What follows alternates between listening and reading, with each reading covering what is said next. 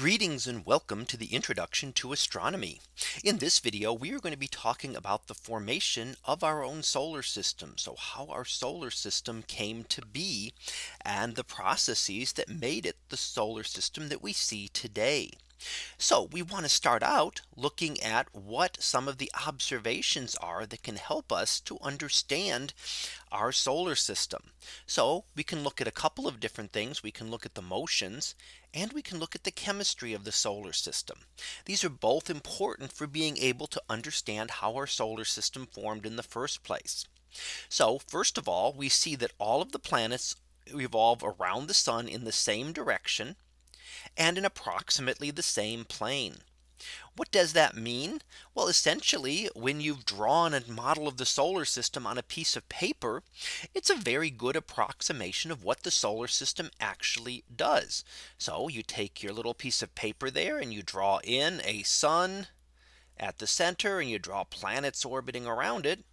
It may not be to scale, but in terms of how flat it is, that's what we mean by it being in the same plane.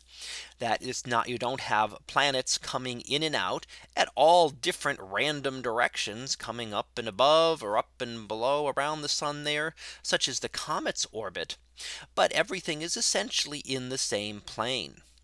We also find that planets will rotate in the same direction for the most part, with the big exception being Venus which rotates in the opposite direction. We see that moons, the major moons of the planets also revolve around the planets in the same direction. So essentially everything in the solar system is moving counterclockwise. And what that means is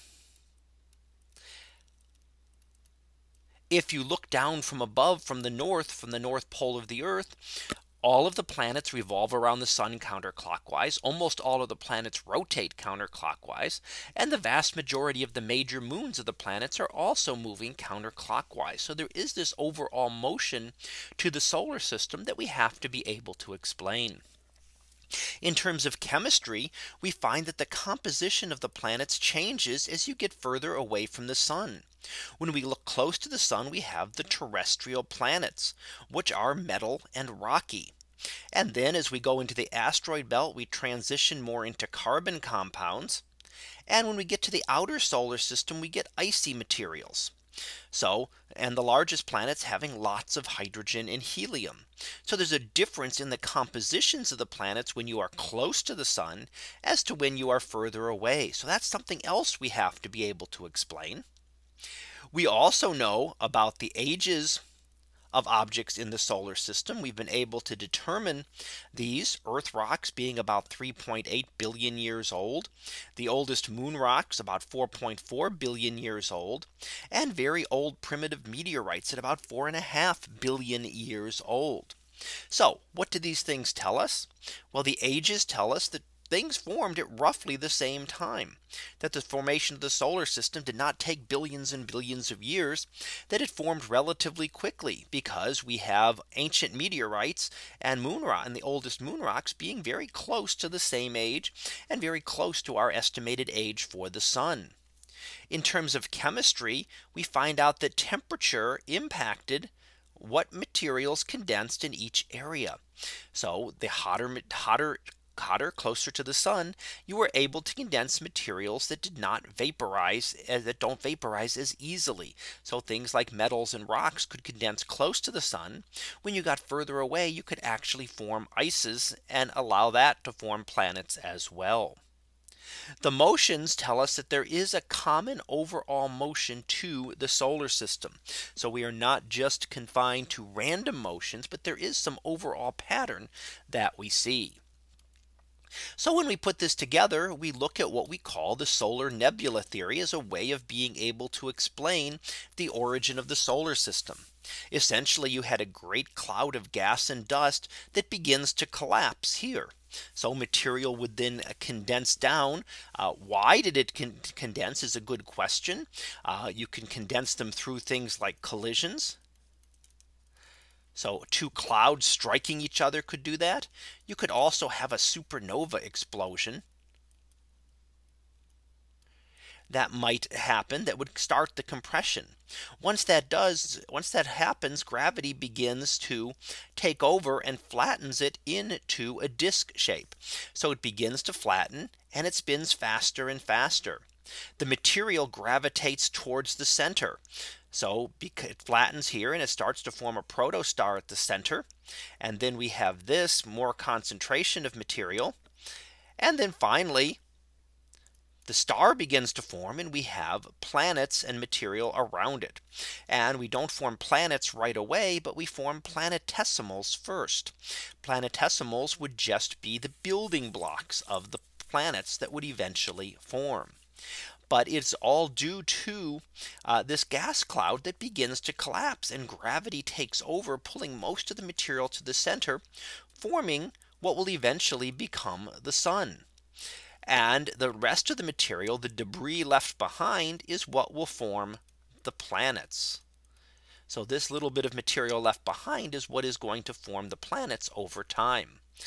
Now, how do we know which types of planets are going to form? And let's take a look at what we call the condensation sequence, which says essentially that the higher temperatures that were existed closer to the sun kept icy material from condensing. So why do we not have lots of ices on Mercury and Venus and Earth and Mars? Because they were too close to the sun and those materials stayed in a gaseous or vapor state. So they were not able to form chunks of material. So when we look at the sequence here at various temperatures, it tells you what types of materials are able to condense out. So close to the sun, you get metallic materials. Further away, you get rocky materials. And even further away, you start to get ices out in the depths of the solar system. And that tells us what materials the planets could form from. So metals condensed closest to the sun rocky materials a little further out and out beyond the frost line somewhere between uh, Mars and Jupiter here then you were able to get ices that were able to able to condense. The key is that the planetesimals and therefore planets could only form from the materials that actually condensed in their region. So in close with Mercury, all we had was metallic materials and a little bit of rock. So Mercury is primarily metals. That's all that could form. When you get further out, you still had the metals, they could still form. But you also add in now rocky material. So planets like Venus, Earth and Mars become made up with some metal, but also significant amounts of rocky material. When you get to the outer planets, you get the metals and the rocks. And in addition, you add in ices. So more ices that are able to form and condense and they're able to help build the planets as well. Now the key is that metals were a very small part of the solar nebula. So you didn't have a lot of material to build from. Rocky materials were a little bit larger portions, so it gives you more material to build planets. But the vast majority of the solar nebula would have been hydrogen and helium and therefore hydrogen compounds, things like water and methane and ammonia. So you had lots and lots of these. So you were able to form very large planets because when you got to the outer solar system, a lot more material was able to condense. So how did we form these planets? Well, it's through a process we call accretion. And what that means is that some of these uh, planetesimals begin to form larger and larger and become large enough to gravitationally attract their neighbors. The planetesimals then that originally formed begin to become what we call protoplanets. So these are smaller, maybe the mass of Mercury or so, and they begin to accrete more planetesimals. So their gravity is stronger, and they start to pull in more of these objects that are beginning to form. So they will gather more and that will cause the planet to become larger and larger. And then eventually the heat of all those materials impacting in will cause it to be molten and will differentiate the planet so that metals will sink down to the core and lighter materials will rise to the surface. So they build up through a slow process that could take millions or tens of millions of years uh, to occur to actually build the planets. But it's very small compared to the entire life of our solar system. Now when we look at the differences when we get to the outer solar system, what's the difference with the Jovian planets? The difference is that ices were able to condense in this region. We had more material and that means larger planetesimals. So larger objects were able to form here. Eventually they became massive enough to collect gases through gravitation. They had enough enough material in them enough gravity that they formed that they collected the gases the hydrogen and the helium.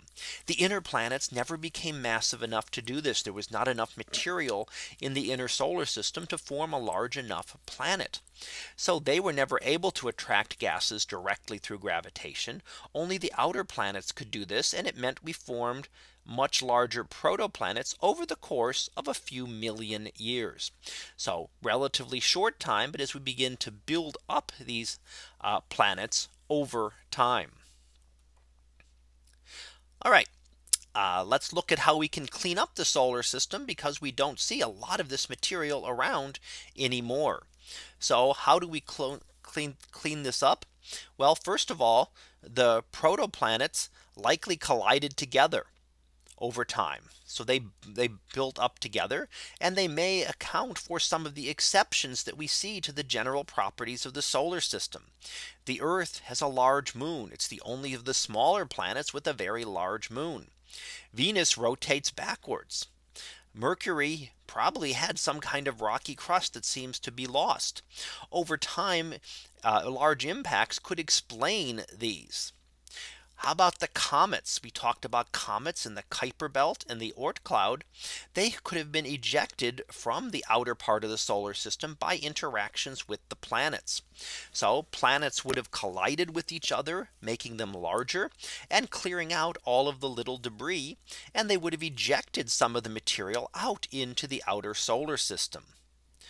Other icy objects not only were they ejected out of the solar system, but they could have been moved into the inner solar system. And that accounts for water and ice that we find on things like Earth and Mars that uh, some of these planetesimals that that condensed in the outer solar system could have come towards the inner collided with the earth and could account for a proportion of our water that we have here on earth today and of course other types of ices. Now over time the planetesimals disappear and they are either ejected from the solar system by gravitational interactions with the planet. So a planetesimal may come and collide into the planet and become a part of it. But it might also pass very close to it and not collide and then get kicked out of the solar system altogether, picking up a little bit of energy from the planet and getting kicked out. So they're either ejected or accreted by a planet. And that cleaned up the solar system so we don't have lots of debris left around. The couple of stable areas in things like the asteroid belt, the Kuiper belt and the Oort cloud still remain. But most of the rest of the areas the planets cleaned out all of the larger objects that used to orbit around them uh, the solar wind and the radiation pressure of the sun also cleared out the remaining gases. So remember that gases were not able to be accreted by some of these planets. They were not massive enough. So the solar wind would then push those away and clear out the solar system that way. One other important factor that we haven't talked about yet is planetary migration.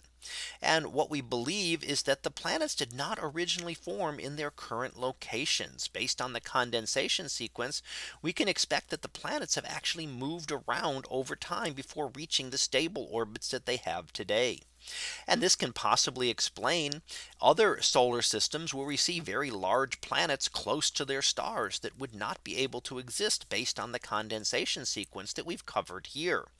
So it can explain that it can explain how the planets exist. It can also explain the era of heavy bombardment with large planets being unstable and moving around a little bit that would then fling more material into the inner solar system, perhaps causing that era of heavy bombardment that occurred early in the history of the solar system.